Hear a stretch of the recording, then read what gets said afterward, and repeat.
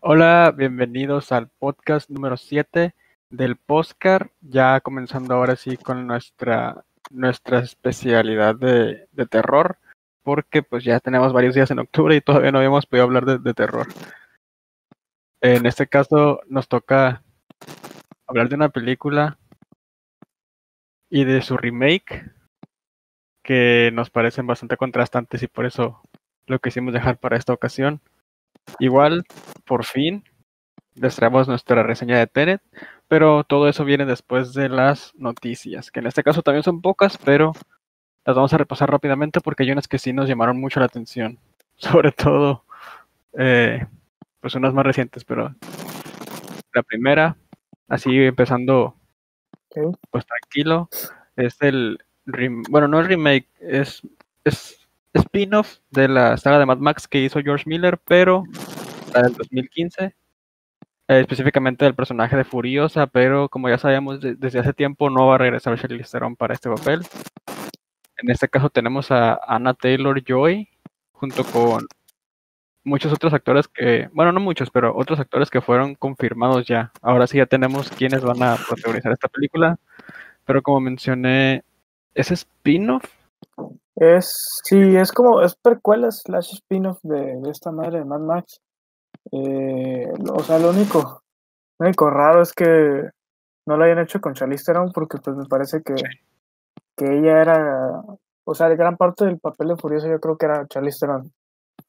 Y pues que lo hagan con, con Anna Taylor-Joy, que no es mala actriz, tampoco es de que sea la más chingón. Muy bonita, pero pues no, eso no, no, no, no ayudan mucho. Eh, pues la verdad no, no sé qué, qué esperar de esta madre. O sea, lo bueno es que es George Miller. Quiera la saga, pues, pues sí, ¿no? Eh, que salga Chris, Chris Hemsworth. Es un güey con un chingo de carisma. Y pues, así como que me esté muriendo por verla, ¿no? Pero, pero pues está, está bien. Porque pues está George Miller ahí, pues. Eso es lo que lo hace chingón. Sí, sí, sí.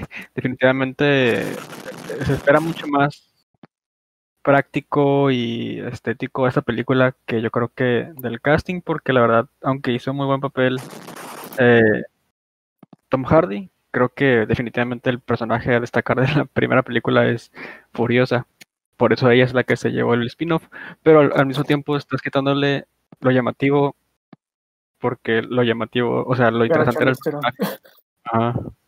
Sí, pues Mad Max, ajá, Tom Hardy, como dices, no lo hizo mal, pero Mad Max es lo que más vale verga de Mad Max. Ahí sí lo, lo que, como que el personaje que brillaba un chingo, pues era Furiosa, como, bueno, Charlize Theron como Furiosa. Y que hagan un spin-off de ella está súper bien, pero hubiera estado verga con Charlize Theron. Sí, bueno, no es mucho que decir todavía porque es lo único que se sabe. Igual el proyecto ya tiene tiempo, pero como dices, con Josh Miller ahí en el proyecto ya es más que suficiente. Sí, pues sí. Porque, o sea, cada, cada película de Mad Max se ha superado y la del 2015 simplemente es Pues lo mejor que ha hecho. sí es este, es una película importante, diría yo, por lo menos en la década pasada, yo creo que sí es de las más importantes. Sí, sí, sí. Y bueno, eh, ya después de, de estos casos que se confirmaron, también tenemos noticias de nuevas películas como nuevos proyectos. Por ejemplo, del que hemos hablado mucho últimamente, Ridley Scott, que como sabemos no, no va a parar de hacer sus películas de Alien. Y también tenía anunciado una película de, de Gucci que iba a estar Al Pacino y Robert De Niro, ¿no? Sí, Todo eso muy interesante y ya nos había llamado la atención. Pero ahora se confirma otro proyecto de él que va a involucrar a, al muy cotizado ahorita Joaquín Phoenix para un epic eh, sobre Napoleón, Bonaparte. Obviamente eh, con pues- este Joaquín Phoenix como Napoleón. Pues esta madre, o sea, el proyecto de Napoleón es un proyecto que tiene, tiene chingos de años eh, con la intención de hacerse. Eh, pues de hecho, Kubrick estuvo involucrado en algún tiempo en realizar una adaptación de la historia de, de Napoleón, que pues luego terminó siendo esta. Ay, Barry Lindo. Eh, que Ridley Scott esté ahí, qué chingón, porque pues ese güey es buen director, últimamente no ha hecho las cosas más vergas del mundo, pero pues se tiene confianza y siento que es un güey que sí es muy capaz de llevar a cabo épicos. Yo no soy muy fanático de los épicos, pero tener a, a un actorazo como Joaquín Phoenix en un papel muy, muy, muy importante, porque sí es una de las figuras históricas más cabronas pues que hay. Eh, y pues Ridley Scott dirigiendo, pues no sé quién haga el, el guion de esta madre, pero pues podemos suponer que sí puede ser algo chingón, pues. Sí, como te digo, también es un proyecto que no se sabe mucho por lo mismo de que todavía está trabajando Ridley Scott en muchas cosas ahorita. Pero la verdad es que todas suenan bien y creo que esta es la que más me llama incluso la atención, porque a mí sí me gustan mucho los epics y sobre todo Gladiador, desde mis películas favoritas de él. Probablemente Alien es mi favorita de él, después Gladiador y después Blade Runner, pero en general los epics me gustan mucho y obviamente Joaquín Phoenix le va a dar muchísimo peso. O sea, ya, independientemente de quién más se ha casteado, con él en el protagónico me llama mucho la atención esta película, este proyecto. Bueno, a mí, a mí, este, pues sí, lo que más me llama la atención es Joaquín Phoenix, porque sí, me parece que Napoleón es un personaje cabrón, entonces tener un actor cabrón haciendo un personaje cabrón, chingón. No sé si la voy a ver porque de seguro estas madres duran un chingo y sí, desde época batalla, Barry Lyndon, puta. Es, sí es muy buena película, pero ay cabrón, no sé si la vuelvo a ver en mi vida porque sí son tres horas muy bonitas, pero ay, qué aburridas, cabrón. Y justamente ahorita que decíamos de Joaquín Phoenix, ¿crees que de no haber sido por el Joker lo hubieran elegido para esta película? Ah, pues Joaquín Phoenix ya es un güey muy, muy establecido. Y este, y pues ya trabajó con él en, en, esta Gladiador. A lo mejor sí, es cierto. A lo que me refiero es que esta noticia como que sí sonó más porque ahorita él está muy presente pues en todos los medios desde el año pasado. Sí, eso sí. Pero pues igual. Sí, igual, o sea, tenía una excelente carrera, de eso no había duda. Sí, mm, a lo mejor como tú dices, sí es porque ahorita ha habido mucho interés en este güey, pero pues igual no depende tanto, porque eh, pues los épicos tampoco no es como si fuera una película de, de, de Marvel, pues que, que, la gente esté esperando ahí o, que la gente quiera ver a Joaquín Phoenix. De hecho, el, el nombre de Joaquín Phoenix, eh, pues hasta ahorita es famoso, pero por Joker y ya. Así de que en, en lo mainstream, pues. No, no tiene como que. Sí, es que siempre ha estado muy presente Joaquín Phoenix en, pues en películas importantes, pero dentro del ojo público general, digamos, desde Joker se notó mucho más. Sí. Eso, es a lo que me refiero. Pero sí, eh, ese es otra noticia de Ridley Scott que teníamos. Como tres pero, seguidos. Pero el proyecto que sí, bueno, nos llamó la atención es una película de Adam McKay que contará con un cast, aparte de muy amplio, muy, muy bueno. Eh, yo esta, esta noticia sí me, sí me super llamó la atención porque Adam McKay es un güey que la neta antes no daba nada por sus películas. Anchorman no, no me gusta, en Chile no me gusta esa, esa, película, no entiendo por qué la Anchorman tanto como comedia. Eh, pero ese güey, yo creo que a partir de lo que fue Big Short, que es un peliculón, eh, es, una, es una película muy chingona Big Short, eh, como que estaba agarrando esta onda de hacer películas entre comillas serias, aunque siguen siendo comedias, pero películas más chingonas, pues, que, que intentan decir algo más. Sí, que no son eh, vacías. Ajá, películas que no son comedias vacías, pues.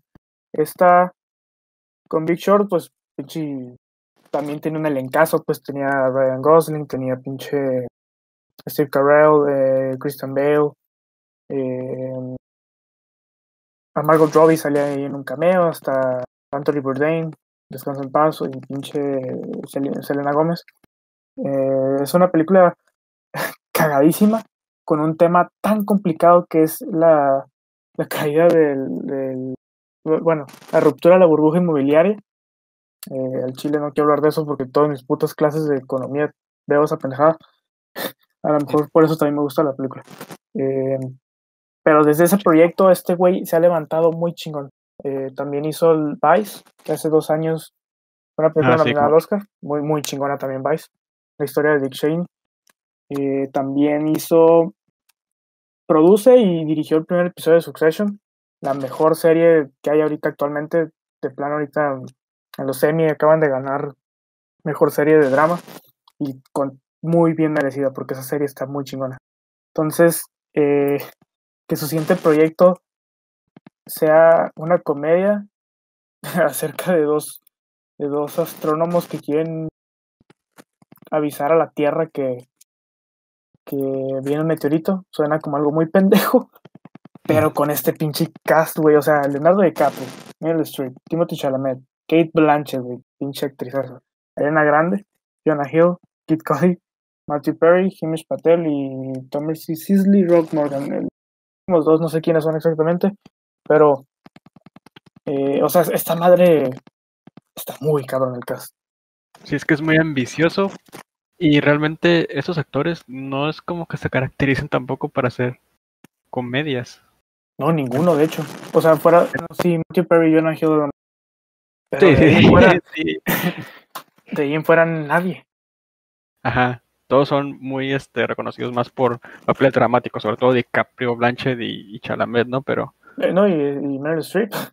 Es sí, sí, es, es muy ambicioso, pero es muy curioso que los hayan elegido para esta película. Para por lo menos el tono que parece que va a manejar. Igual, eh, no sé para qué año esté planeada salir, pero como va a ser por streaming, por lo menos eso no se va a retrasar. No, sí, es, es, es por- Apenas se está este, formando, pero ya Sí, esta madre se va a estrenar en lo que es Netflix. Sea bueno o malo eso, porque. O sea, es, es bueno porque tenemos la certeza de que va a llegar a nuestras pinches y las películas. sí, porque ya con Dune, que nos la atrasaron tanto tiempo, ya no, no quiero otro delay tan grande. Pero también me gusta, es que no, no disfruto igual ver las películas en, en la tele. O sea, Irishman, No. nomás porque es Irishman, porque si es un peliculón, sí lo disfruté. Eh, pero I'm Thinking of Ending Things o inclusive Roma también, que, que son películas que, que sí me gustaron y todo, pero siento que son cosas que necesitaban una pantalla grande, especialmente Roma, por la fotografía que, que sí es una cabronada, pues. Entonces, eh, pues igual Adam McKay no, es- no es- no es conocido por tener cinematografía muy chingona en sus películas, pero de igual manera, eh, prefiero en el cine. Prefiero las cosas en el cine y dudo que vaya a llegar al cine, por lo menos aquí en nuestro pueblucho. Sí. Pero pues ya, ya nos alargamos bastante con esta noticia. Sí, bueno, la última que es de la que honestamente quiero hablar un poco menos porque es la que menos da, es que ya por fin, después de tantas especulaciones y hasta nosotros mismos hicimos ahí un- una pequeña conversación sobre esto, que ha estado muy presente en redes sociales, es lo de Spider-Man. Todo lo que viene con Spider-Man siempre causa mucha intriga, sobre todo desde Endgame, que ya se vio la posibilidad de conectar muchísimos personajes, pues ahora la gente espera que se haga lo mismo con los tres Spider-Mans que ha habido hasta ahorita desde el 2000 para acá. Y ya por fin lo negaron, o sea, se especulaba mucho que en la tercera de Spider-Man, después de Far From Home, ya viéramos una especie de crossover o, ¿cómo se llama? Pues un multiverso donde Sí. saliera Maguire y Garfield junto con Holland. Al Chile, Pero- qué bueno. Qué bueno que lo negaron. Lo negaron, o sea, ya... Igual, no sé, porque pudieron haberlo dejado como rumor para que se hiciera más publicidad a la película, pero lo decidieron negar. Ahora sí no tengo idea de qué se va a tratar la tercera. Y la verdad no tengo idea a dónde vaya el universo de Marvel. Eh, este, yo digo que qué bueno que lo negaron, porque el Chile siento que se iban a meter en camisa once varas, güey. Hacer una película con multiversos es un pedote, güey. O sea, esa madre, el concepto de los multiversos no es algo que venda. Porque no es un concepto sencillo, pues. Entonces. Spider-Man es un superhéroe muy, muy, muy, ¿cómo se dice? Ay, como muy mainstream, güey. O sea, hasta un camionero ve Spider-Man, pues. Sí. Entonces no es, no es algo que busquen complejidad. Y hacer compleja una trama, porque huevo la tienes que hacer compleja porque vas a introducir dos güeyes de dos universos que ya no existen. Entonces, sí es algo que me alegra que le hayan dicho que no, por el bien del guion y por el bien de, de la saga de Spider-Man. Y además de que Tobey Maguire se va a ver bien culero, pinche traje de Spider-Man otra vez. Eh, Andrew Garfield no tanto porque no está tan jodido, pero Tobey Maguire, Tobey Maguire sí, sí, de por sí ya se veía grande en- cuando era Spider-Man. No me sí imagino ahorita, güey. treinta y tantos haciéndola de, de borro de, de 15. de secundaria y pero Pero sí es cierto, sí tienes razón de que qué pendejos, porque esta madre es voz, pues entonces, aunque no lo ocupan realmente, pero pues no menosprecias publicidad. sí, sí, sí. Sí, o sea, ¿cuántos? 10 años desde que bueno, no, no 10 años, más o menos 8 años, desde que salió la primera de Avengers con esa escena post créditos de Thanos. Ujú. ¿Cuánta especulación hubo? ¿Cuántos videos de teorías? ¿Cuántas publicaciones?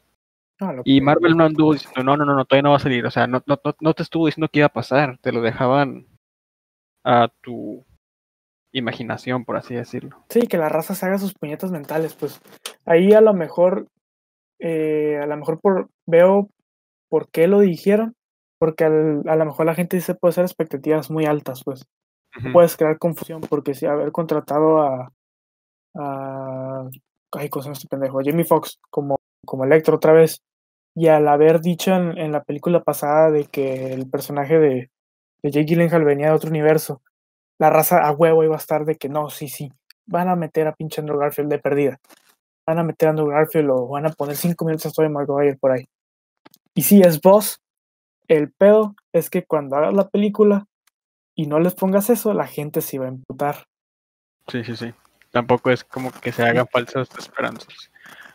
Pero Ajá, probablemente, a lo mejor, ajá, conociéndolos, probablemente sí lo vayan a hacer, pero ya después. Porque lo están, no sé, es que aquí, aquí el pedo fue el timing. Si hubieran dicho que no, pero hubieran dicho que no, faltando un año para estrenarse, yo creo. Porque es que- ahorita, ahorita, ¿cuánto faltará? Como dos, tres años para que se estrene. Entonces, puedes lo aprovechar, sí, puedes aprovechar de que dos años de mame, de que estén con su Tobey Maguire y con su Andrew Garfield, lo pendejo. Y ya al año, decirles no. Ese, ese pedo olvídenlo. pues que falta un año más o menos, en diciembre del 21. Ah, no, neta. Sí. Güey, qué pedo. No puedo creer que ya estamos en Spider-Man 3. A la verga, güey. Estoy haciendo ruco. Es que, pues sí, la primera en 2017, la otra el año pasado. De a dos Pero- años. Pero no mames, ¿a poco no lo retrasaron ni nada? ¿No? Hoy sí es cierto. Ok, no olvida todo mi pinche verbo que eché. Olviden esa pendejada de raza.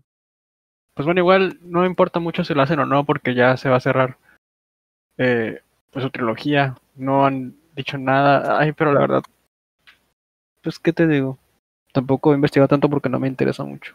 Sí, a mí, tam- a mí tampoco. Creo que estamos haciendo más grande del pedo de lo que es.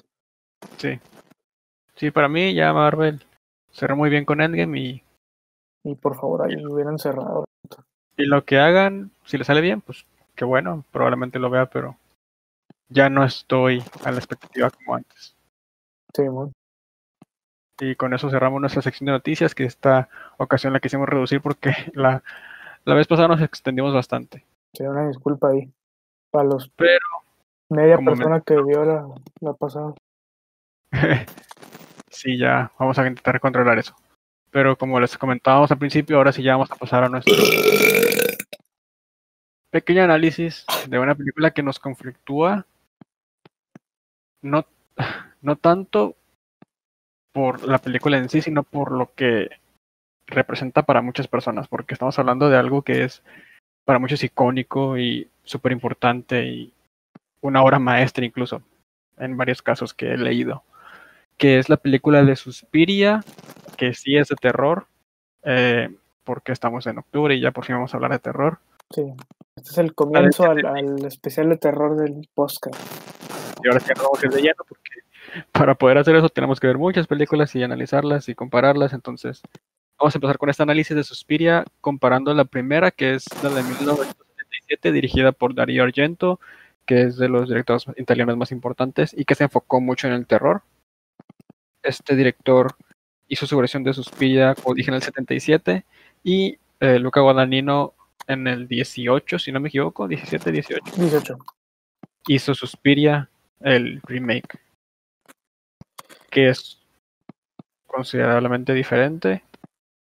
Ya depende de la perspectiva de cada persona cuál es mejor, pero nosotros en lo personal tenemos que decirlo desde un principio, la original no nos gusta, No, no solamente nos caga.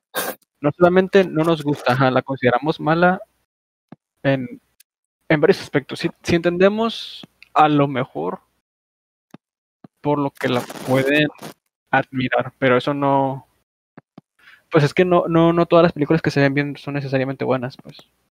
Es que el pedo con Suspiria es que cuando yo la vi fue ya estaba muy hypeado porque me iba a aventar el eh, es mi segunda vez viendo Suspiria 1 y, y esta Suspiria remake. Este, la primera vez que la vi sí estaba muy hypeado porque había escuchado muchas cosas chingonas de Suspiria y, y veía frames de la película y a veces hasta clips. Y digo, güey, esta cosa se ve cabrona, pues, o sea, los colores, el estilo, el aspecto visual es totalmente lo único que encontramos rescatable en esta película. Porque, a su madre, güey, no, son pocas las películas que realmente odio, o sea, fácilmente puedo decir, me caga las películas de Adam Sandler. Pero Sí. no puedo decir cuánto me caga Suspiria. Porque sí es, es una película que todo mundo croma y neta, ¿cómo la odio, güey? Yo, la verdad, esta segunda vez que la vi, ya la pude admirar en varios aspectos, porque sí empecé a, a entender más o menos por dónde iba el director. Sin embargo, sí, sí considero que tiene unos, muchos problemas muy, muy graves, pero que se podrían dejar de lado. El problema aquí es lo mismo que, que comentas, que la tienen muy alto. Y yo no sé las demás personas cómo vean estos problemas que nosotros vamos a mencionar a continuación, porque yo sí los considero... Es, es que te digo, no solamente es una película mala por la reputación que tiene, sino en general es mala. Por lo menos como terror. Es que mm, me parece tan difícil entender por qué la croman tanto. Porque, o sea, sí, lo visual está muy chingón. O sea, es, es, es- visualmente está muy maravillosa. Excepto por algunas escenas que sí pegan el viejazo muy cabrón. Más bien la cinematografía, ¿no?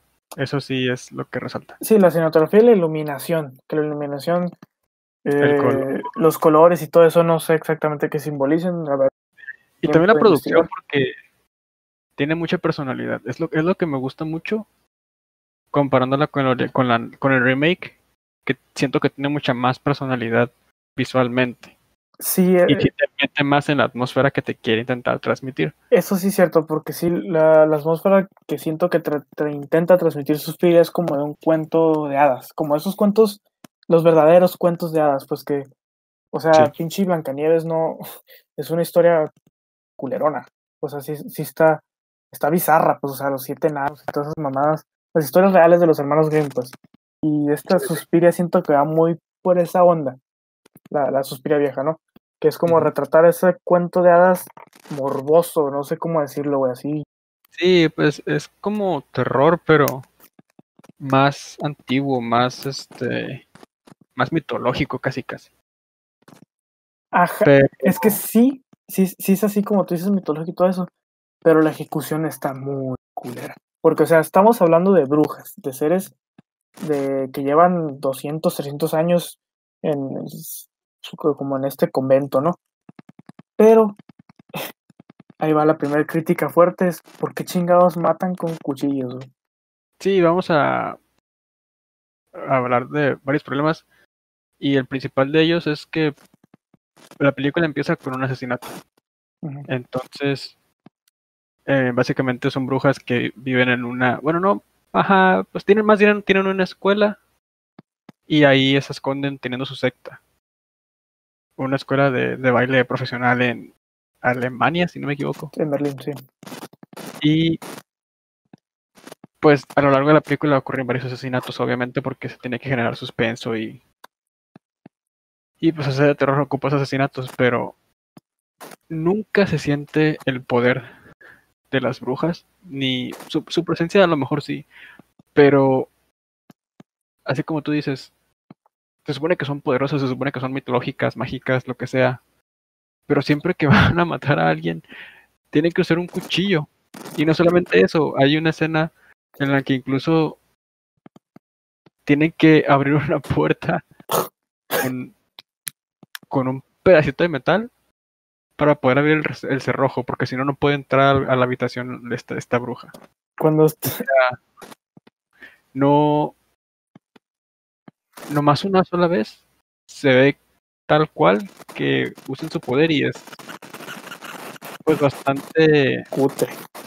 ajá, muy muy sencillo, no, no tiene nada de impacto, no se siente realmente que sean una gran amenaza.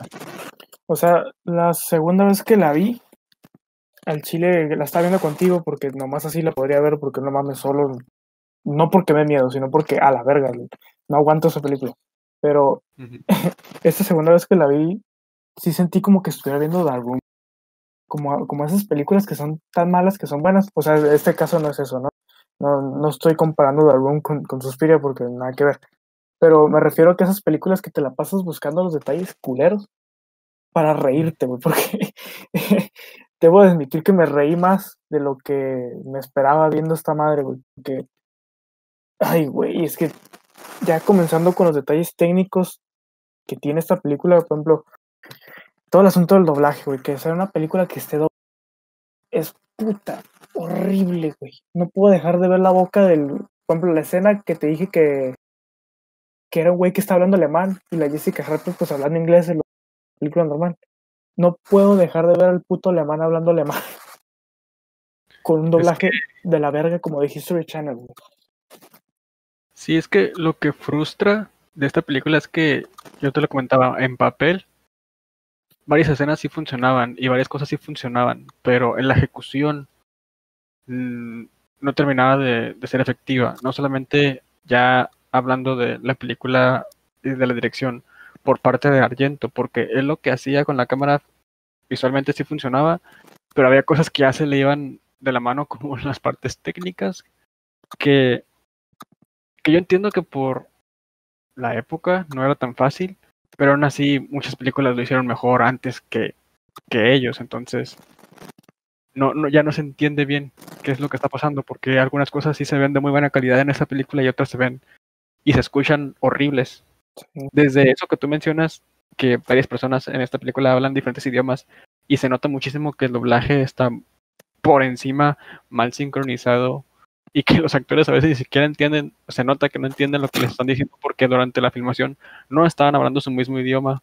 Sí, no mames, o sea, la cara de Jessica Harper en esa escena que te menciono de que está el actor este alemán explicándole no sé qué, o sea, se nota su cara, que no es de que, ah, me estoy haciendo una cara de intriga porque me está interesando lo que está diciendo. Es una pinche cara de, de qué vergas está diciendo este güey.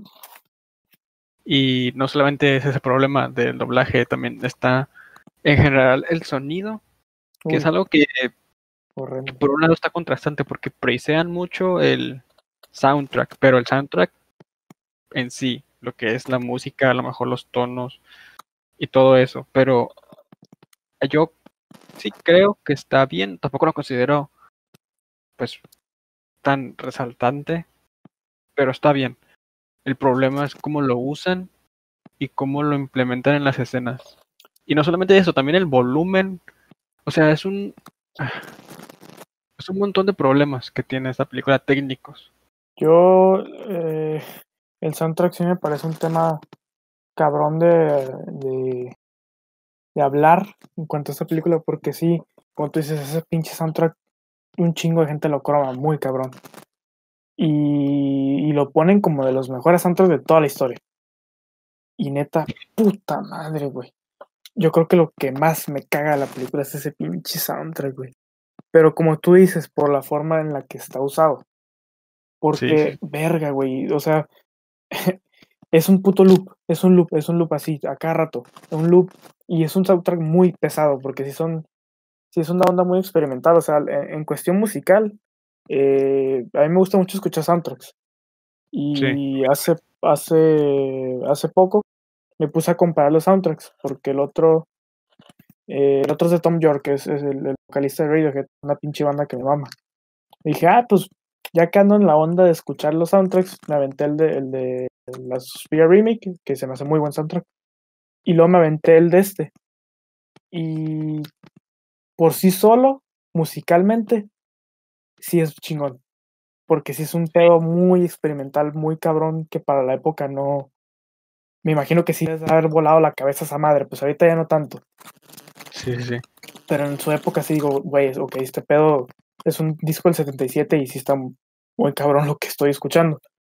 Pero sí, la lo película, a la verga. Lo dijimos hasta de broma, de que con qué instrumentos grabaron esto. Ya, pero ya estábamos hartos de la película, entonces lo decíamos de broma. honestamente, había escenas en las que el soundtrack que sonaba no era tan extraño.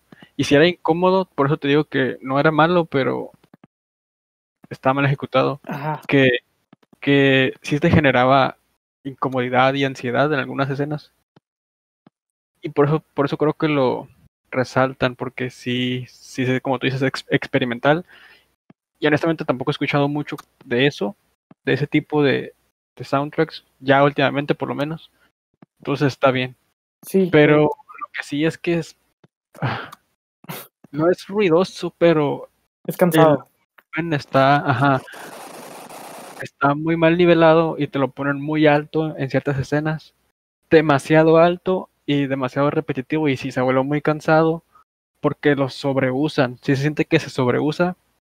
Y aparte, de alguna manera, el sonido que ponen del, soundtrack te spoilea algunas escenas porque está el personaje normal, digamos en su cuarto o algo así, y de la nada empieza el soundtrack súper fuerte de golpe, obviamente muy mal nivelado el sonido, y independientemente de todo eso, ya esta música que va de 0 a 100, así de inmediato, ya te está diciendo que algo malo va a pasar, ya te está generando una idea de que algo va a pasar y no te da tiempo de construir ese suspenso de una forma más natural, más sutil, que es algo que la nueva sí hizo bastante mejor en ese aspecto. Sí, la, eh, an antes de pasar a, a, a la nueva, eh, para terminar un poco con el tema del soundtrack, sí, es que está, está estúpidamente mal usado, güey, porque como tú dices, sí te spoilea como que las escenas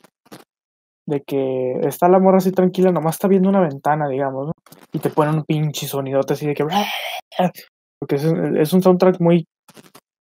Eh, que sí comunica, porque, o sea, siento que el soundtrack está utilizado como que es la magia de las brujas, siento yo.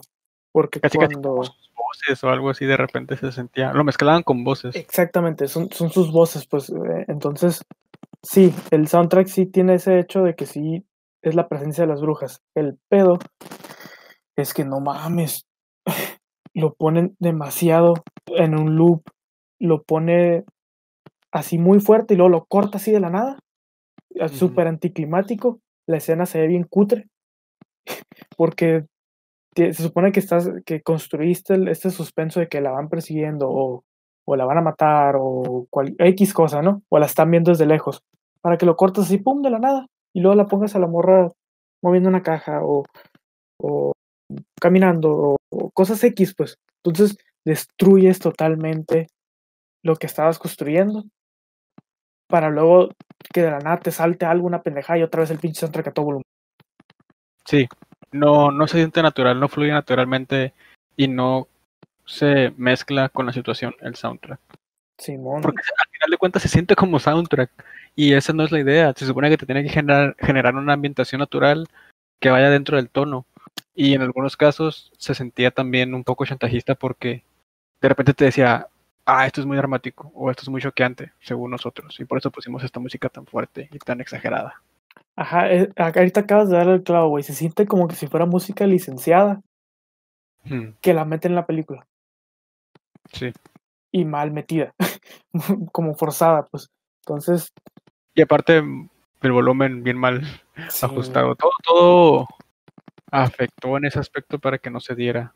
Es que a lo mejor ese es el pedo de nosotros, que, que sí la que sí la vemos de manera muy picky porque estamos en 2020, pues entonces ya tenemos 30 y, no, 43, Ujú. 43 años de cómo ha cambiado el industria del cine, pues entonces sí, a lo mejor por eso sí la criticamos mucho porque sí nos vamos muy por lo técnico. Y Pero- Todavía falta, ya en cuanto a ejecución, que es ahí donde sí voy a entrar mis negativos ya con el director, porque hasta ahorita el director creo que hizo todo lo que pudo en construcción de ambiente. ajá, Las escenas de asesinatos y de acción tal cual, pues a mí la verdad es que no me salen tan... no, están de la verga, güey. mm, Y entiendo la parte de la época y el tiempo y la tecnología, pero es que te digo, viendo películas de esa época o incluso más viejas que no tienen a lo mejor la, el reconocimiento que le dan a esta de repente y que sí se sienten más impactantes o mucho mejor logradas. Es que Pero-. Es que el pedo con esta película es que eh, no cuidan nada en el aspecto de calidad y el subtexto, todo lo subjetivo y toda esa onda de que lo que mencionamos de que es un cuento mitológico, digamos así, no un cuento de hadas clásico, no siento que justifique todas estas faltas que hay en la técnica, pues, y en la producción. Porque sí, o sea, cansa, cansa el, el sonido mal mixeado, cansa el cansa las malas actuaciones, cansa pero raras no, no en el sentido de raro bien, sino en el raro se ve pendejo. Sí. Si no, no sientes suspenso ni, y como decíamos, es anticlimático casi siempre. Sí, entonces, Y por culpa de ellos mismos, porque ah, había una escena, creo que es la segunda escena de asesinato, que lograron generar suspenso, que incluso se, se dejaron del soundtrack un poco en, en algunas tomas, y sí generaron suspenso, y sí de repente una escena incluso me sorprendió porque sí me, me tomó, me, me, ajá, me tomó desapercibido. Pero luego empezaron con su soundtrack y luego empezaron con sus eh, cosas ridículas que no tenían ningún sentido que pasaran. Que es cuando la bruja intenta matar a, a alguien, pero la puerta está cerrada. Y ya no puede entrar. No puede entrar la bruja porque la puerta está cerrada. O sea, alguien que tiene poderes mágicos tiene que usar una varita ahí para intentar quitar el candado a la puerta para poder entrar. es que hacen como si las brujas fueran slashers, pues de que le dan su cuchillo y te van persiguiendo y una puerta los detiene. Y a veces hasta se sienten más tontas porque la forma en la que terminan haciendo los asesinatos es- también es. De repente se siente muy forzada. De esas típicas películas que el personaje lo, lo empiezan a, a perseguir o atacar y se queda quieto sin hacer nada más que gritar. No, la, la escena, la muerte de Sara, güey, eso sí se me hace una pendejada, güey, que caen los pinches alambres, esos pedorros, güey. ¿Cómo, ¿Cómo chingado te puedes dar cuenta que antes de saltar que hay un chingo de alambres en el piso, güey? Sí, estando desde arriba, o sea, porque ella brincó desde una ventana en lo alto. Es imposible que no hayas visto que abajo de ti había un montón de alambres. No, Era que- obvio que si te aventabas te ibas a caer y te ibas a cortar. Pero bueno, todo ese tipo de cosas, ah, no sé, por la época a lo mejor la visión que, que tenían para ellos sí era impactante o algo así. Pero te digo, a fin de cuentas parecen cosas más bien técnicas que en cuanto a la historia. Porque a fin de cuentas, de que la iba a matar, la iba a matar. Aunque lo hubieran hecho bien, de todas maneras, fue la parte técnica en la que falló más que nada. Sí. Ahora hablando ya de narrativa, de historia, de manejo de todo tu tercer acto. ¿Qué es lo que entiendo, por ejemplo, lo demás? ¿Por qué es malo? No sé, no tienes tecnología, no tienes tanto presupuesto, a lo mejor no eres, eh, no cuidas de detalles como de lógica en algunas escenas, como los asesinatos y todo eso. Se puede, a lo mejor no perdonar, pero sí pasar o entender. Y hasta esa altura, hasta antes del tercer acto, la sentía simplemente aceptable la película. Pero ya lo que sí se me hace malo, incluso hasta debajo del promedio, es lo del final, por lo fácil, lo básico y vacío que se siente. Sí, el final es horrendo. Es prematuro. Ajá. Es, es, es como es como si hubieran abortado ese pobre final, güey. Porque sí, Sí, como que no supo acabar la película. no, o sea, no hay. Se construye todo el pedo. Y para la parte donde vas al final dices, ah, ok, esto es. Vamos como a la mitad, yo creo, de la película, ¿no? Cuando, cuando va pasando la. Llegas al tercer acto y dices, ok, vamos a la mitad de la película. O sea, inconscientemente uno piensa, ¿no? Y luego te das cuenta que no, que descubre a las brujas. Y dices, ah, va a descubrir a la bruja y luego va a escapar y va a volver y la va a matar o X cosa, ¿no? No, pues nomás de, la mata de la manera más mediocre. güey. O sea, una bruja de 200 años que era la madre superior. La matan con un pinche daguita o no sé qué era. Un cuchillo, un Un cuchillo. cuchillito pedorro, güey, así, nomás. Uy. Pica algo que era invisible. Y ya. Y, o sea, entra a este cuarto secreto, se supone. Nada más eh, se mete al cuarto de la madre Marcos, que es la super bruja que todo el mundo le tiene miedo y todo el mundo respetaba y nadie podía hablar de ella. Como dice, se entierra el cuchillo y se muere ella y todas las demás brujas, hasta el retrasado, el Pablo, también se empieza a morir. Sí, güey. Sale, sale de la escuela y ni siquiera termina de salir y ya empezaron los créditos finales porque ya se había acabado la película. No, es que está pendejísimo ese final, güey. O sea, la morra sale y sale con una sonrisota, güey, y se va caminando así bien feliz de "Ajá, ya se acabó mi película. eh", con una cara de pendeja, güey. Y ya, créditos. Sí, ya, ganamos, este, nada más tienes que entrarle un cuchillo a, a la grandota y y pues ahí está tu historia, ahí está todo el- lo que se construyó en hora y media, en tres minutos. Es que este final parece que lo escribió en cinco minutos, de que en papel, o sea, este, este final en papel es literal, entra al cuarto, entra el cuchillo y se sale. Es que yo creo que ese güey, todos. a ese güey le dijeron, chale, mi Darío, ya, valiste verga. Se nos acabó la lana, güey. Te me avientas el final en tres minutos. Así parece, güey. Es que no, no entiendo, de verdad no entiendo. No, no, no. Se Eh, siente despreciado todo lo demás. Ay. Y verlas cómo son tan fáciles de matar. Si de por sí antes ya se sentían bastante X las brujas, ujú. porque usaban cuchillos para matar en vez de usar sus poderes o algo así. Al final se ven todavía muchísimo más mediocres, inútiles y ya ni siquiera se sienten como un villano. Ya nomás era Es que eh, ya para acabar, siento yo, porque ya nos alargamos mucho con el original, eh, siento que ni siquiera hay razón por la cual quieran matar a- al personaje de Jessica Harper, pero, o sea, no, no entiendo por qué las brujas querían matar a, a Susan Bunny. Nunca hay una razón concreta de decir. De hecho, tal cual, a las brujas jamás las construyen, nada más las ves tal cual como brujas. eh, en total como 30 segundos yo creo, o sea, en lo que las ve por la puerta, luego se mete con la madre Marcos y luego sale y ya se están muriendo. O sea, fueron, han, de haber sido como un minuto en total que las viste como realmente villanas, antes de que se murieran, antes de que pudieras entender qué estaba pasando. Es que es, es una película que no le entiendo, fuera de lo visual, no entiendo cuál es el mame alrededor. Porque sí hay gente que la pone como la como su película favorita de terror. Yo digo, pues verga, qué pinche estándar tienes, porque no, no, no, no veo, no veo ni siquiera el terror en esa película, pues. Y Sí, tiene los elementos, pero en general no se acoplan. no, Y no, termina, obviamente, súper mal.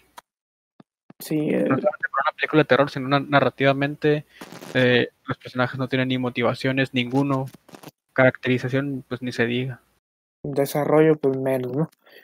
Eh, pues ya, ya pasando pues, finalmente a la Suspiria 2018, eh, esta película eh, a mí me gusta mucho, eh, tampoco la pongo en mi top de películas de terror y nada, pero a mí me, me gusta bastante, más que nada porque me parece una película muy bien dirigida, a, a mí en lo personal, porque Luca Guadagnino es un director que me, que me gusta mucho y me parece que aunque no sea el, el estilo tradicional de como él dirige, me parece que hace un buen intento en crear una buena historia. El pedo, que era lo que estábamos hablando justo cuando terminamos de ver, de hecho, esta Suspiria, fue que se nos hace que no es una película de terror. Sí, Porque sí, pierde muchísimo esa sensación de, por lo menos de misticismo y de fantasía. Ah, a excepción del final, pero el final todavía no vamos a hablar de él. Lo que pasa es que se siente más como un drama con cosas sobrenaturales, así nomás. ajá, paranormales o sobrenaturales. Eh, Eh, a mí la verdad es que terror no me, no me generó. Yo, yo digo que me gusta la dirección de esta película porque siento que es una película lenta, pero que no sientes que sea lenta, porque la, la edición es muy frenética, es muy, muy así, pum, vamos rápido, rápido, todo. Y siento que te construye muy, muy bien todo el tema del, del, del coven, del, del- ay, ¿cómo se dice? De, de la secta, de las brujas, me parece que está muy bien construido toda la dinámica que hay entre la pelea de, la madre Marcos.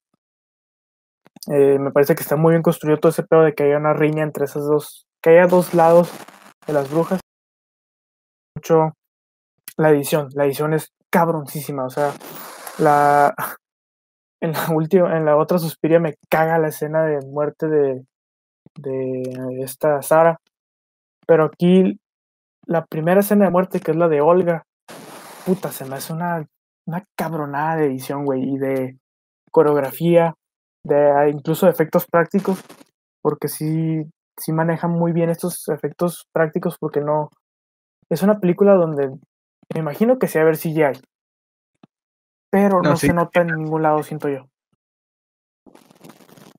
Bueno, sí, al, al- al final sí, pero en el resto de la película siento que no. Sí, de hecho, por eso mi verdadero problema con esta película es el final. Por eso mismo de que se siente muy diferente todo lo demás. Pero lo demás sí me gustó también por el hecho de que no tiene lo que la primera tenía, que es este eh, miedo que se les tiene a las brujas por lo que hacen, lo que pueden hacer y lo que te muestran y lo que también no te muestran, porque hay cosas que sí saben manejar, como la escena que mezclan del asesinato, del primer asesinato, que aparte de, de ser muy brutal y gráfico, te lo combinan con algo que es la, la escena de baile, o sea, le, meten un simbolismo y hacen que no se sienta del todo grotesca la película, sino que también tenga un, un balance. Porque en general no se ve como una película de terror. Solamente son ciertas escenas las que te empiezan a, a mostrar demasiado. Que te empiezan a, a, a mostrar cosas muy grotescas. Y por eso cuando salen son mucho más impactantes.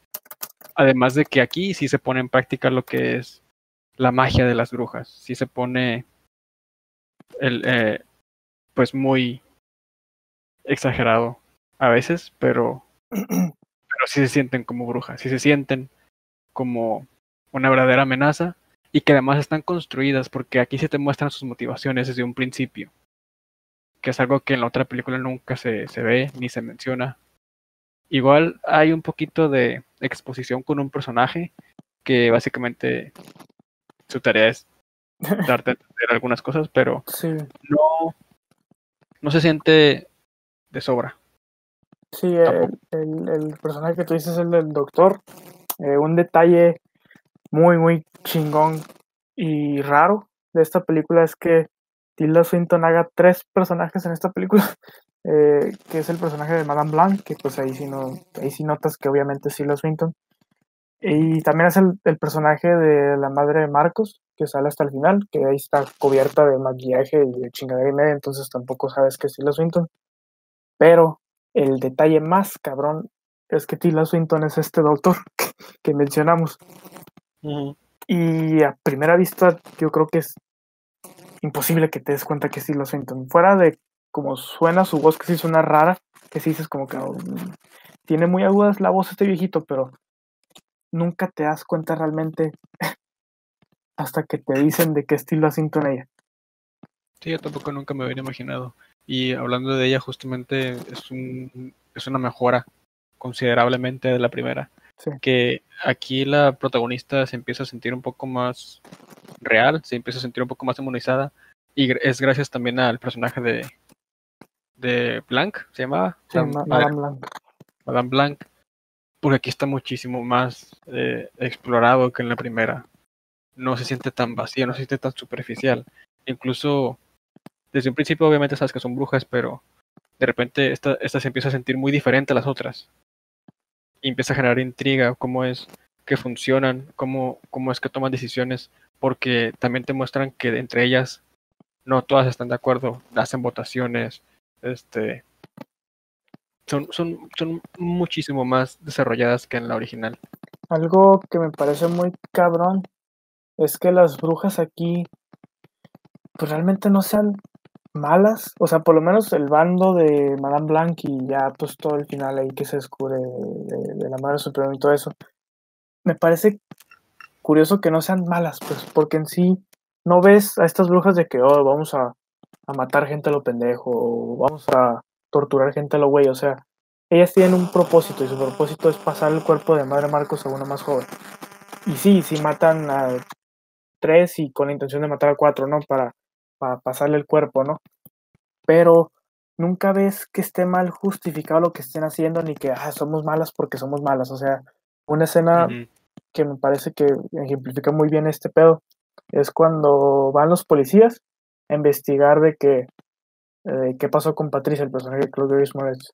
Eh, está, está curioso que en vez de que los maten o los desaparezcan o lo que sea, nomás jueguen con ellos, güey, que literalmente están jugando con la verga de uno de ellos, pero, eh, o sea, no, no le están, no los matan, no les hacen nada, nomás es como que, ok, váyanse pendejitos, nomás no se metan con nosotros. Sí, es que no matan por el hecho de matar, no es que ellos quieran, o sea, no es que ellas quieran atraer gente a su escuela para matarlas a las muchachas, o sea, si tienen un propósito. Eso es algo muy importante que la primera nunca reflejó. En la primera se sentían villanos muy caricaturizados que nada más mataban porque son brujas y tienen que hacerlo.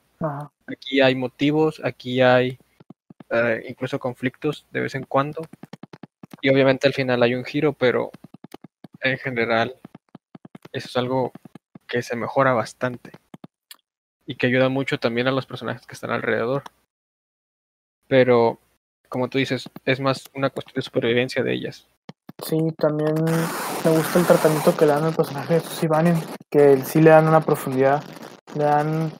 Eh, hay un giro al final con su personaje que... Pues no hay que decir spoilers de esta porque sí, me parece que es una buena recomendación. Parte de los dos siento que sí la recomendamos. Eh, sí, tiene un giro muy chingón, tiene un arco de personaje que a lo mejor no esté tan explícito, pero ya con una segunda vista sí es como de que, ok, sí tiene un arco muy bien definido y que sí juega un poco con la dinámica de, de, lo que te está diciendo, pues de que realmente las brujas no son malas, porque, ay, es que uh, no puedo contar el final, pero el personaje de Banyan al final tiene tiene una decisión muy importante que la transforma en algo muy chingón y que ella en vez de dejarse llevar por el poder como, como se deja llevar la madre Marcos, no opta por, ese, por esa situación. Y siento que le da un mensajito ahí detrás más chingón, al igual que con la historia de, del doctor, bueno, con Tilda Swinton hecha doctor, también, aunque tú dices que a ti no te gustó tanto, que este es un arco que no es tan importante. A mí, a mí sí me gusta. De hecho, la primera vez que la vi sí me, sí me conmovió bastante la historia de este viejito, porque ahí tiene un, pedo muy triste. Y, y me gusta que le agreguen, aunque sea larga la película, un poquito de más. Me gusta esa profundidad, porque este Luca Guadagnino es un güey que se toma su tiempo. Se toma su tiempo muy cabrón para construirte un chingo de cosas y para crearte ambiente. Que aunque el ambiente que crea aquí no es tan cabrón como el que crea Dario, Argento, eh, sí siento que sí tiene un ambiente esta película, pues. Porque sí es como que un pedo de un Berlín real. Es un Berlín, o sea, estás hablando de 1977, esa madre está dividida por un puto muro, güey. Así yo creo que no había felicidad en Alemania en esa época. Y es una película muy lúgubre, muy eh, gris. O sea, toda la paleta de colores es totalmente intencional. Que sea así de gris, que sea así de, de sobria. Y me gusta, a mí me gusta ese pedo. Y, también está chingón que la película se entienda primera vez. O sea, no es una que sí tiene sus cosas que sí se ponen pacheconas a veces, pero que nunca dejas de entender qué está pasando. Sí, sí, sí, y como tú dices, toma su tiempo, pero aún así no se siente tan larga, porque vale la pena, por, por algo está ese tiempo, por algo se está construyendo, para que cuando pase lo que tiene que pasar, no se sienta ni forzado, ni apresurado, ni malgastado, nada de eso. Y el final, aunque no lo podemos spoilear, para mí es la parte que yo creo que me sacó de la experiencia por lo mismo de que, como tú dices, se siente muy real la mayoría de la película. Incluso dentro de este contexto en el que existen brujas y hacen cosas con poderes mágicos y todo eso, lo que te mostraban se sentía real, porque todo era eh, presentado de una forma seria. Nunca caricaturizada, ni ridícula, ni, ridícula, ni, ni fuera de, de lo que pasaría si eso existiera. Pero ya cuando empieza el final, se empieza a sentir. Uh, se, empieza a sentir muy diferente a todo lo demás que habían construido. Eh, más, que nada, quiero entender que te refieres a la parte de que no es que te haya disgustado en qué termina la historia, sino que te disgusta la ejecución. La ejecución, ah, ok, sí. Sí, porque ahí ya se empieza a dejar de lado lo que es hablando de la parte técnica, efectos prácticos y si se siente mucho la presencia de ya más cosas generadas a lo mejor por computadora, también visualmente algunos eh, no puedo spoiler, algunos diseños de personajes, digámoslo así. De un personaje muy específico. Se siente también de repente muy caricaturizado, e incluso la forma en la que habla también de repente. Eh, sí, concuerdo contigo. Porque sí es cierto, sí, sí rompe muy cabrón de tono la ejecución de ese final. Pero a mí no me molesta tanto. A mí, o, sea, sí, se me hizo muy de que, ay, cabrón, qué desmadre haber sido filmar esta escena. O sea, es una escena donde hay tres Tilda Swintons en diferentes personajes. Es una escena, eh, no es spoiler, no es spoiler eso. Eh, es una escena muy caótica, pues, y es una película muy calmada y que explote así de esa manera tan en tu cara. Puedo entender por qué no te guste, pero en términos de narrativa y de historia sí siento que cierra muy, muy, muy bien. Sí, lo que pasa, como te digo, sí me gusta. Me gusta el giro, me gusta la decisión que se toma y me gusta incluso el mensaje, por así decirlo. Pero sí, en, el aspecto un poco más visual, un poco más de, ejecución, incluso de dirección de esa última parte, sí la sentí un poco de más. Así como tú dices, es bastante caótico y para mí ese tipo de, de decisiones se vuelven muy complicadas y muy delicadas porque está la línea en la que entra muy bien, una escena muy caótica, y hay una en la que ya se empieza a sentir desorganizado y un poco casi, casi, eh, pues muy revoltoso. Es que sí se siente, voy a una analogía media pendeja, pero sí se siente como que eh, todo el resto de la película es como si estuvieras pisteando así tranquilo, de que te echas tus y así, y que al final te den un shot, güey. y te, te ponga bien pendejo y guacarees, güey. Porque ese, ese sí tienes razón, sí, esa madre se siente como que te guacarea en la cara, pues. Esa escena, la del final, pues. Y no, como te digo, eh, hasta eso que no se siente tampoco injustificada o... No, no, no, no injustificada no, pero sí se siente fuera de tono, pues. Sí, porque la película sí te lleva a eso, sí te está construyendo desde el principio y entiendes cómo es que todo termina, o por qué más bien pasa lo que hacen.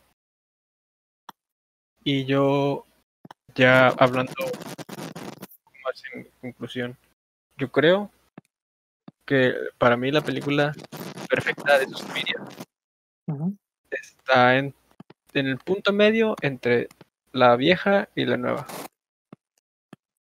Tomar los elementos eh, narrativos que tomó la nueva, combinarlos con la cinematografía de antes, darle obviamente la parte técnica que tiene la nueva. Y hacerlo poco a poco, mostrándote a lo mejor lo esencial. Yo creo que para mí ahí entraría una película de una película de Suspiria que sí me encantaría, porque me gusta la nueva, pero no me encanta, y la vieja sí tengo muchos problemas. Yo igual así como para terminar, este, yo recomiendo muchísimo más la, la nueva. Si, si, si pueden darse hora y media de sufrimiento, pues vean la primera y sirve que hacen su comparación. Eh, yo a mí sí me, a mí sí se me hace como la suspira bien hecha la nueva. A mí sí me gusta todo, toda la película. Eh, algo que no comenté, que sí lo dije, pero no lo comenté mucho, fue el soundtrack. El soundtrack me parece muy, muy, muy chingón, el de la nueva. Eh, no será tan experimental y tan icónico como el de la original, pero sí se me hace un soundtrack muy bien hecho. O sea, las, las, las, composiciones están cabronas y más cuando las combinan con la coreografía de las actrices que sí me hace muy chingón. Es algo muy rara, no es, no es sencilla de ver esa coreografía, pero es muy bien ejecutada y, el aspecto sonórico, sonoro, sonoro, sonoro, pues sonórico, pendejo el aspecto sonoro de la película es maravilloso, pues, o sea, esa escena donde están bailando y que el soundtrack esté bien nivelado, pero que también escuche las respiraciones y que se vuelvan parte del soundtrack, también esas respiraciones de las mujeres cuando hacen los cambios de posiciones, está muy, muy chingón. Pues. Sí, el soundtrack y el sonido en general está muchísimo mejor aquí. Independientemente de lo técnico, que obviamente es mejor, también el concepto que utilizaron de combinar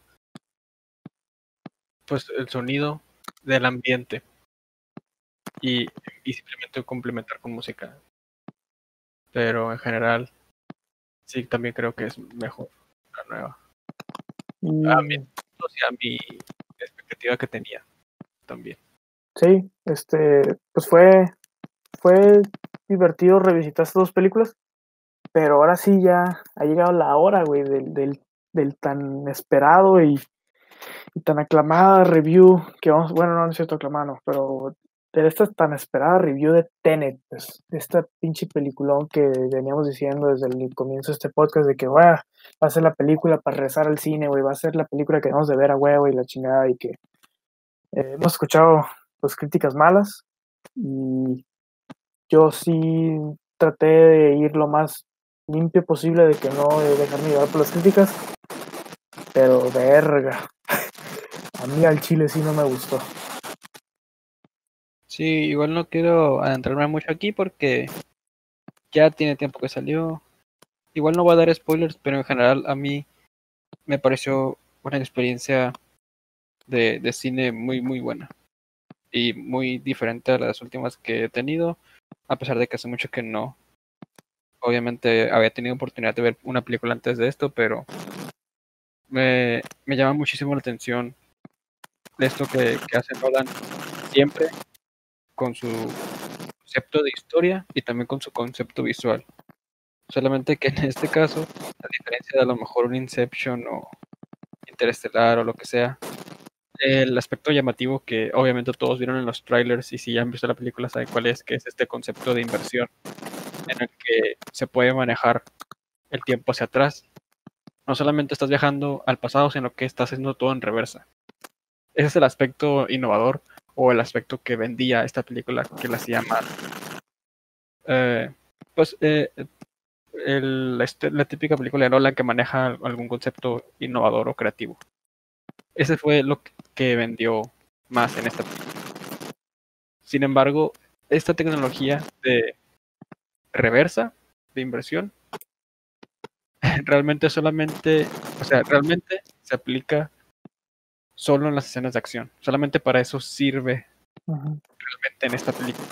Porque la demás historia se pudo haber contado de mil maneras diferentes. No era absolutamente, no era, para nada necesario esto de la inversión. Simplemente el impacto que tiene realmente es en las escenas de acción. Eh, a mí la película me parece que en cuestión de dirección y todo eso, pues sí está, pues es típico Nolan, ¿no? Dirección muy elegante, eh, las escenas de acción bien ejecutadas, lo, todas las, todo el pedo que mencionas de, las escenas en reversa y todas esas coreografías que hacen en reversa está, está muy chingón visualmente y todo. Y en cuestión de concepto, a lo mejor sí es un concepto mm, relativamente interesante, no se me hace tan interesante, no se me hace de los conceptos que ha inventado Nolan, eh, de los más chingones que ha inventado él, no se me hace. De hecho, en su filmografía sí la pongo, eh, pues sí la pongo entre las peorcitas. bueno, la pongo por arriba de las peores, que para mí la peor es Interstellar y, y las de Batman, la 3 y la 1. La pongo a lo mejor arriba de la 1 de Batman. Pero es que para mí el pedo es la narrativa, güey. Esta madre.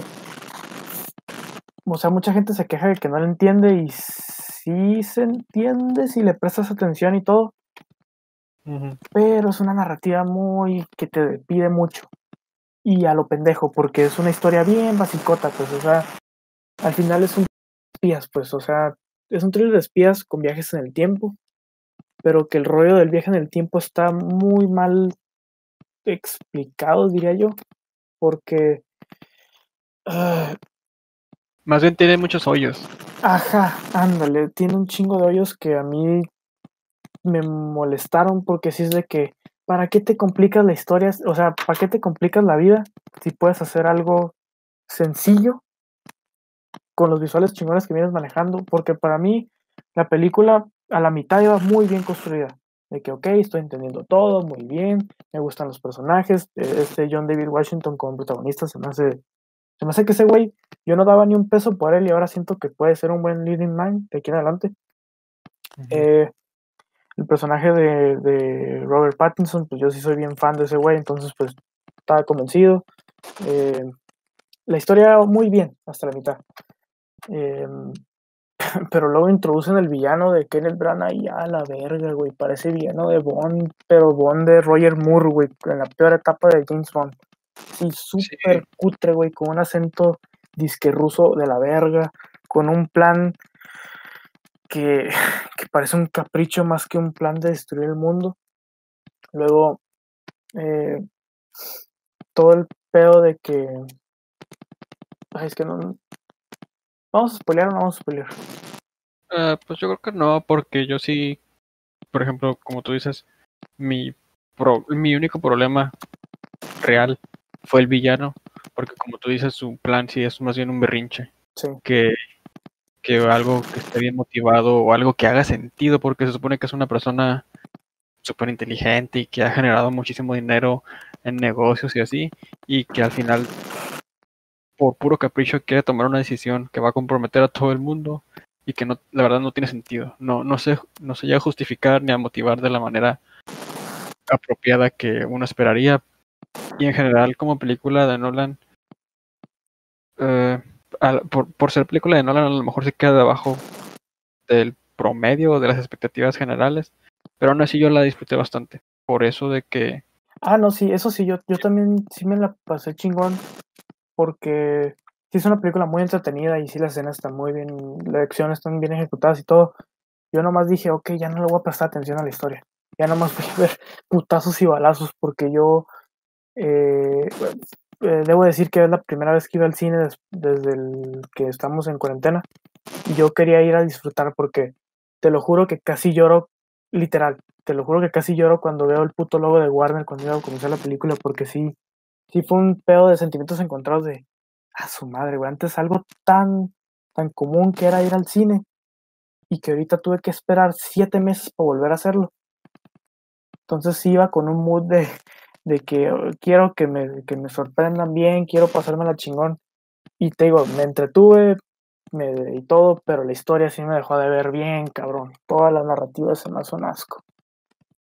A mí sí me gustó bastante y como tú dices en el aspecto de el concepto de inversión que la, la, narrativa en sí está entendible, yo sí la pude entender, pero sí se siente de repente irreal. Es que porque hasta, hasta la misma película te dice de que déjate llevar, de que no preguntes mucho.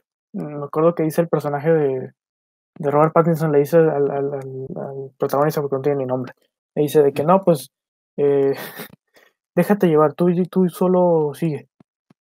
Yo dije, ah, bueno, pues si, si Robert Pattinson me lo dice, yo también. Ya voy a dejar de prestarle atención a la historia. Ya no más quiero ver los balazos y todo. Sí, a mí me gustó el concepto de inversión y la entendía la historia, entendí todo lo principal que intentaba contar la película, pero sí tuve que aceptar que aunque le, pusiera- le estuviera prestando atención, no te iba a hacer sentido, porque ellos mismos dicen varias cosas que ni siquiera ellos entienden por completo esto de cómo funciona. Incluso algunas cosas que dicen se contradicen en cuanto a las reglas de cómo funciona. Aún así no, no quise dejar de poner atención porque algunas cosas sí funcionan y sí se vuelven importantes para la trama y sí se vuelven incluso a veces sorpresivos y, y lo que sea. Pero sí se entiende que es un concepto muy diferente y muy difícil de desarrollar al 100% para que tenga lógica. Aún así, creo que pues sí la pondría como una de las mejores experiencias en películas de acción que he tenido en el cine, porque en cine sí es bastante importante ver todo esto, sobre todo sabiendo que es práctico. Y pues yo sí tuve una experiencia bastante buena con esto, Yo Tenet, con el Tenet. sí, co- con Tenet, te digo, me entretuve y todo, pero me tuve que dejar llevar. Dije, ok, ya, nomás voy a ver lo que estoy viendo. La escena, el final, o sea, el tercer acto, que es toda esta batalla así media rara, batallé para entender, no lo narrativo, sino batallé para entender qué estaba pasando. O sea, la historia la estaba entendiendo y sé para dónde iba y todo, y, se- entendía qué estaba pasando en ese tercer acto, pero visualmente no entendía qué estaba pasando, no, no, no supe con quién estaban peleando al final, ni nada de eso, porque sí se me hizo como una revoltura de cosas. Eh, te digo, eh, si tuviera que poner una calificación, aunque no lo hacemos aquí, la pongo como un 6, porque visual, eh, cuestión de fotografía, Hoytema, Hoytema, mis respetos. En cuestión de dirección, muy bien por parte de Nolan, muy elegante, muy bien todo hecho. Nomás que tu narrativa te falló bien, culero. Eh, el soundtrack, el soundtrack, ah, su madre. Yo pensaba que era Hans Zimmer porque pues ya es que siempre hace colaboraciones con él. Pero Sí. no, es, es este güey Lu- Ludwig Göransson, el güey que hizo el soundtrack de Black Panther y que ha hecho los de Creed y, y le produce mucho a Charles Gambino. Dije, ok, este güey está muy pesado. Porque sí, el soundtrack de esta madre se me hizo muy cabrón. Sí, está muy relacionado con el tiempo y juega con esos conceptos de del tic-tac del reloj, ¿no? Muchas veces se siente. Sí, también el- estos sintetizadores acá bien cabrones y se me hace que Ah, está, sí. está chingón, pues. Sí, también hay este, ocasiones en las que parece que el soundtrack va al revés también. Cierto, cierto. Y, y me gusta mucho. Me gusta mucho toda esa, esa idea. Pero como te digo, al final solamente funciona para las escenas de acción. Lo, lo ejecutan, o sea, es un, es un concepto muy complicado, te digo, es como, como lo que decía yo del multiverso en las de Spider-Man. Es un concepto muy complicado que si no lo explicas bien, la gente dice, ah, chinga tu madre, me estás viendo el pelo. güey". Y yo sí sentí eso. Nomás que yo en vez de enojarme dije, ok, no voy a dejar llevar. Tiene su madre. Yo en ese aspecto no me molestó. Sí tiene muchos hoyos y lo, los noté luego, luego porque siempre me gusta estar asegurándome de que todo, haga sentido. Pero aún así, no, no me molestó. Lo que sí se me hizo un poco mm, básico para hacer una película de Nolan es no la narrativa, sino los sucesos, lo que pasaba. Porque al final se sentía muchas cosas muy forzadas. Muchas cosas muy forzadas. Por ejemplo, eh, de repente ciertas líneas o ciertos diálogos se sentían muy forzados. Sí. Como que Especialmente el de, el de Kenneth Branagh, el villano, pues. Sí, a- a- hablando de él y de las decisiones que tomaban también se sentían muy forzadas y cosas como, digamos que la escena más grande de acción en la película no hubiera pasado de no haber sido por un detalle pequeño que al final simplemente eh, fue muy conveniente que pasara. Ah, ok, ya, ya te entendí. Sí. Hay eh, cosas que para la historia no hacen nada, pero las meten con tal de que después venga una escena de acción basada en eso. Cosas así pasan en pequeña o gran medida en la película durante las dos horas y media que dura. Y sí se siente muy forzadas porque es como que, ok, mi historia es muy- básica, pero como tengo que meter escenas de acción muy épicas y muy eh, mindfuck y lo que quieras, de alguna manera tengo que hacer que la narrativa entren aunque lo que haya pasado para justificarlas no tenga ni sentido ni impacto en la historia realmente. Sí, como que se le fue a la mano, pues. Así como para, para concluir, para ya pasar al último, a la última sección. Eh, se me hace que el güey empezó con algo muy sencillo, luego dijo, ok, esto está muy sencillo, le voy a meter el pedo del tiempo. Pero como que se lo metió muy a huevo al guion, no tuvo el tiempo de explicarlo bien o de crear una narrativa bien, y pues le salió esta cosa. Pero bueno, yo sí la recomiendo. Es Ah, una muy sí, buena. sí, sí, yo también. Sí lo recomiendo para. Nomás, si quieren, si no son de esos güeyes que, que quieren estar así 100% pegados a lo que estén diciendo, desconéctense y déjense llevar por lo visual y por el. Sí se entiende, pero. De rasgos sí se entiende. Ajá, se entiende a grandes rasgos, nomás denle libertad ya. Para cerrar ya con este séptimo podcast, vamos a comentar nada más un poco de lo que hemos visto. Igual no vamos a explayarnos porque ahora sí nos estamos alargando otra vez, pero voy a, por ejemplo, eh, eh, vi dos películas nada más esta semana, entonces va a estar corto. Que fueron dos de terror, por esto mismo de que me gusta ambientarme en este mes con ese tipo de cine, que fue una de ellas, la de Cabin in the Woods, que es terror comedia, incluso muchos dicen que es casi 100% comedia, simplemente con elementos de terror, Sí, a mí se me hace que siempre estoy comedia esa película.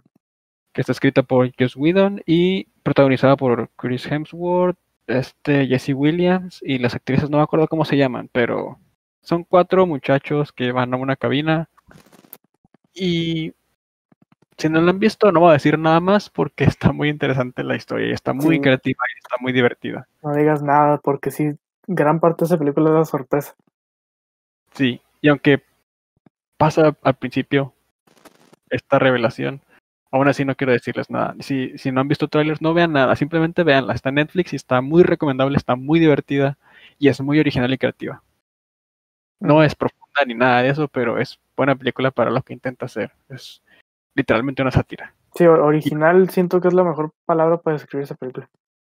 Eh, ajá, y es una sátira a las películas de terror, pero está justificado. O sea, sí tiene sentido de que hagan burla porque están intentando hacerlo a propósito con la historia, pero ya no quiero decir más si no la han visto, pero véanla. Yo sí más o menos me spoileé y aún así hubo cosas que, que me sorprendieron un poco. Esa es Cabin in the Woods. La otra que me, me sorprendió mucho, lo bastante que me gustó, que se llama Life, que es una película del 2018, 17, no me acuerdo muy bien, que como me gusta mucho lo que es el terror de ciencia ficción, sobre todo en aislamiento como de, ah, las de Alien, que la primera es de mis favoritas de todos los tiempos, siempre intento llenar ese vacío porque no hay otra película como Alien desde que salió esa. Pero sí hay muchos intentos. Por ejemplo, vi Pandorum hace poquito que te la comenté. Y ahora esta de Life trata de unos astronautas, pero reales, así de nuestro tiempo, que se encuentran con un espécimen de vida y lo tienen que llevar, y lo tienen que llevar a la Tierra. Esa madre es, es la película de Venom, ¿no?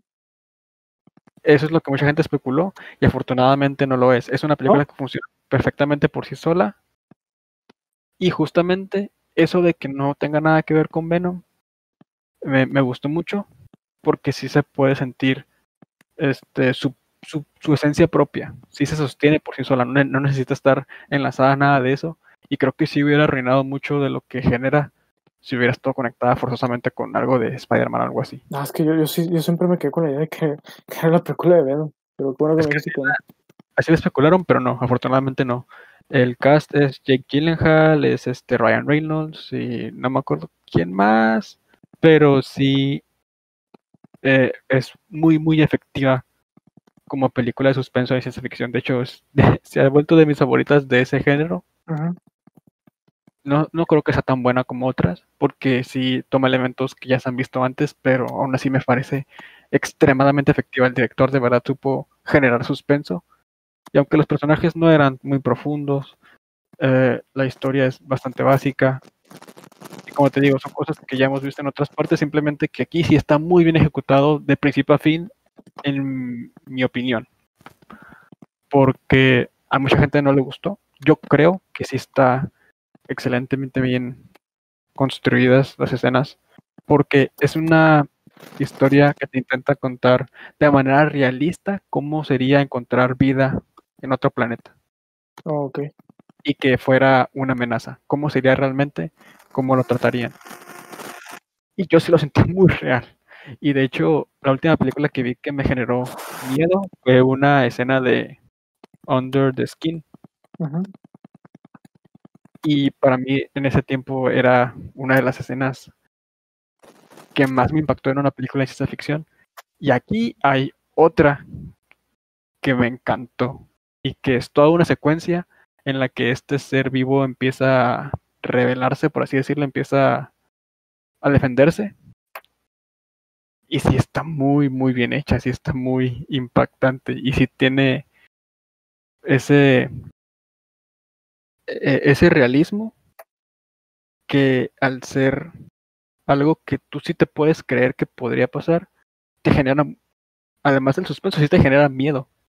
Y, y me encantó, aparte de eso, visualmente está increíble. El diseño de este ser vivo también es creíble. Ya al final se empieza a volver un poco más, pues, no genérica, pero sí más formulaica. Ah, ok. Y como te digo, los personajes no son la gran cosa, pero aún así, como son actores ya muy conocidos, muy carismáticos, sí te, sí te eh, generas una pequeña relación o empatía con ellos, pero es muy, muy básica. Y yo sí la recomiendo bastante si les gusta ese tipo de películas de suspensos. Es mucho suspenso.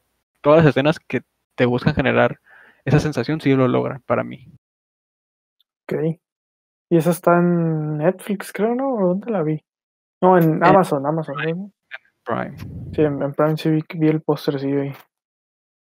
Como te digo, es bastante básica, pero hay unas escenas que nunca se me van a olvidar, estoy seguro. Ok. Eh, ya es todo, ¿no? De lo tuyo. Sí, de las que vi, aparte de las que comentamos, sí. Ok. Eh, yo también nada más vi dos películas. Eh, vi. Voy a comentar la que, la que menos voy a hablar, que es. Eh, ay, hasta se me olvidó el nombre, güey. Ah. In the World's End. Sí. Sí, In the World's End, de Edgar Wright. Era la última película que me faltaba de este director. Y la última de la trilogía Cornetto. Ey, Em, es una. Está, está muy, está, es una película muy cagada. Eh, me parece que Edgar Wright no tiene ni una sola película mala. Eh, esta no es mala, nomás que comparándola con cosas como Hot Fuzz o Shaun of the Dead o más recientemente Baby Driver, sí me parece que, que sí es la película que menos me gusta de Edgar Wright.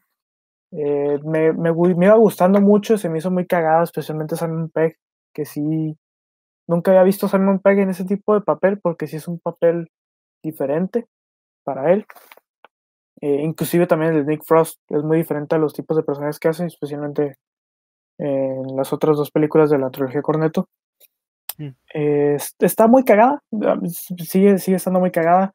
En cuestión de dirección, pues ese güey, Edgar Wright es un maestro en las transiciones y aquí yo creo que es el mejor uso de las transiciones antes de lo que hizo con Baby Driver, porque con Baby Driver se me hace más cabrón. Eh, también está el cast, está muy cagado, porque sí, son como, es un poco esta historia de chaburrucos, de que son cinco güeyes que quieren revivir su, sus épocas cuando tenían 20 años y se van a pistear, van a recorrer todo su pueblito, todos los pubs de su pueblito. Es una trama que empieza muy normal y que luego se, se aloca con, con temas de ciencia ficción. Pero ahí está mi pedo, que cuando empiezan los temas de ciencia ficción me parece que están bien llevados hasta el final, donde sí se le salen de la mano muy, muy cabrona Edgar Wright, porque sí como que siento que el güey intentó hacer algo sobre qué significa el ser humano, qué significa ser un ser humano, pero lo toma muy a lo pendejo y se pierde totalmente el mensaje, porque ya Vato se burla muy cabrón, entonces como que sientes que ese güey se está riendo de su propio eh, significado que intenta transmitir. Entonces, luego ya pasa algo más pendejo al final que, que, no está no está mal per se, pero está de que, ok, te volaste la barda así, güey. Eh, la recomiendo porque es, es cagada, es, es, buena, pero sí es la peor, es la peor de, de All Right. ¿Cuál dirías que es la mejor de, del corneto, por, por lo menos? Ah, del corneto Hot Fuzz y de su filmografía Hot Fuzz. Baby Driver me gusta un chingo, pero Hot Fuzz se me hace algo más cabrón. Sí, yo creo que también pongo Hot Fuzz del, bueno, no he visto At the End of the World, pero o End of the World, pero At World's End, creo, algo así. Ay, quién sabe. Hot Fuzz sí me gusta más de Shaun of the Dead y esa. Y Baby Driver creo que sí es mi favorita de, y la otra que vi es una película de los hermanos Cohen que se llama The Man Who Wasn't There. Eh, yo amo el cine de los Cohen. Me parecen que son unos directores excelentes, Son, son de mis directores favoritos. The Man Who Wasn't There no la conocía. Sí se me hace que es de esas joyas ocultas de su filmografía. Y se me hace que es la película más pinche deprimente que han hecho. Es muy, es muy buena película. No se me hacen del top. Bueno, no, sí, sí, sí la pongo en el top de sus películas. Pero sí es algo que sí tienes que estar muy. Tienes que estar sintiéndote bien porque vas a ver algo muy, muy culero. O sea, el, título de la película es The Man Who Wasn't There. Y, es, y de eso se trata, de un güey que simplemente existe, que nadie reconoce su existencia, que a nadie le importa. O sea, ese güey es, es muy cruel el tratamiento que le dan al personaje, pero sí me parece que hablan de temas de existencialismo, de de de que de ser un fantasma en vivo, porque es un güey que no importa sus acciones, sus acciones nomás pasan. Y todo. Ajá, todo pasa alrededor de él. O sea, la historia va de un, de un barbero en los años 50 o 40, no recuerdo muy bien. Eh, la película está en blanco y negro, fotografiada por Roger Dickens, que, mm. uff, qué, qué, qué, buena fotografía. Yo creo que sí, de los Coen, sí es de las películas más preciosas que hay, más por este tono de blanco y negro. Eh, la historia va de un barbero que un día conoce a un güey al que le corta el pelo, que resulta que era pues de esos empresarios fayucos, ¿no? Que, que les venía a dar una, un ofertón que si me das 10 mil dólares te voy a ser socio de un, mi siguiente empresa y vas a ganar un chingo de lana. Y este güey, como toda su vida ha sido un fracasado y tiene una vida muy aburrida, desde que, ok, quiero meterle dinamismo en mi vida y voy a conseguir esos 10 mil dólares. Termina estafando a su, al, al jefe de su esposa, que es James Gandolfini, Tony Soprano, pinche actorazo, neta. Aquí la hace de Tony Soprano también. Entonces, está, se me hizo muy cagado porque no me esperaba ver a, a James Gandolfini ahí. Descanse en paz. Este. Le, le, hace un chantaje ahí con este güey y, y, termina pasando algo muy feo. Es la típica trama de los Cohen de que, güey, frustrado con la vida, que hace una pendejada y empieza a hacer un, un embrollo de pendejadas, ¿no? Pero sí me parece que es la película más oscura de los Cohen. Está excelentemente escrita. Es, es maravillosa con la manera en la que está escrita. Eh, pero sí, sí la tienen que ver en un buen mood, porque yo, yo sí la vi, la vi en la, en la noche. No me dormí ni, ni me causó aburrimiento para nada, pero sí terminé muy agotado, güey. Sí es de que, verga, güey. es, es, es objetísimo el final de esa película. Bueno, es que es ojete, pero no, no es un ojete que te haga sentir mal porque no es... Es difícil de describir ese final, porque es un final de acepto lo que me está pasando, pero es algo muy culero que te está pasando. Entonces, de, dentro de la filmografía de los Cohen sí, sí la pongo en lo más alto. Me faltan, tampoco me faltan muchos, pero sí me faltan dos que tres. Y pues sí, eh, de películas fue todo. En series, pues sí, viendo Sopranos, vi los últimos dos capítulos de We Are Who We Are que me faltaban. Eh, sigo me por el siguiente de esta semana y empecé a ver, así rápido, la voy a comentar rápido porque no he visto mucho. Empecé a ver una serie que se llama Rami. Es una producción de Hulu. Esta es de esas típicas series de, comediantes de stand-up que hacen su serie, así como, eh, como Master of None que la hizo este Aziz o como Louis de Louis C.K., o inclusive como Seinfeld o, Atlanta. Eh, no se me hace la mejor de ese tipo de series, que son de esas series que hablan acerca de la experiencia de, del comediante, pues, que en este caso no trata acerca de un comediante, sino más bien de la experiencia de un musulmán americano, que es Rami Youssef. Ese güey es, un, el mismo que la escribe y la produce, la protagoniza. Rami Youssef es un comediante reciente de Estados Unidos, de origen musulmán. Y me parece que está muy chingona la serie porque sí, aunque hable muy en específico de la experiencia de los musulmanes americanos, sí está muy relatable porque sí habla acerca de, del amor, del amor para los millennials y centennials y todo, toda nuestra generación, pues habla mucho acerca de del qué hacer después de que te gradúas, porque estás nomás temes mm. tu carrera y qué chingados vas a hacer con tu vida. Entonces, es una serie que sí se va, sí es comedia alternativa, porque sí, sí tiene cosas de humor negro muy ojetes, especialmente con un personaje que, que está pues parapléjico, no sé cómo decirlo, que es un güey que, que no se desarrolló bien y, y, que el Rami escribe cosas bien culeras que, que sí se ve que, que esta madre me extraña que no, la, que no hayan dicho mucho porque sí se pasan de verga con algunos chistes que hacen con ese güey. Pero se ve totalmente que el güey ha de ser su compa, porque no me imagino a alguien que esté en ese estado que se presta a que lo insulten de esa manera.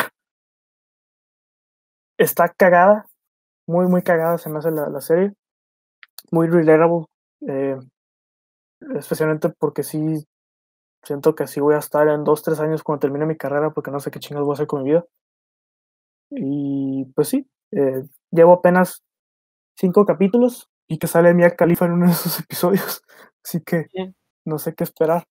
Y pues sí, muy recomendado. La vi en, en el YouTube verde, eh, ahí en Cuevana. Y pues ya, Ya, damos concluidas este par de reseñas. Y como mencionamos, ya nos vamos a ir de lleno con terror. sí, De emisión vamos a hablar más, más de. A lo mejor no hemos decidido, pero tenemos pensado hacer cine moderno y también cine viejo clásico de terror. Alguna de esas dos, analizarlas, eh, ver qué, qué, hay de diferente entre lo clásico y lo, la nueva ola de cineastas de terror que hay. Y por lo pronto esto es todo. Gracias por acompañarnos en este séptimo podcast. Esperamos que no haya quedado tan largo. Y espéranos para la octava emisión. Pues hasta luego, raza. Hasta luego. Gracias.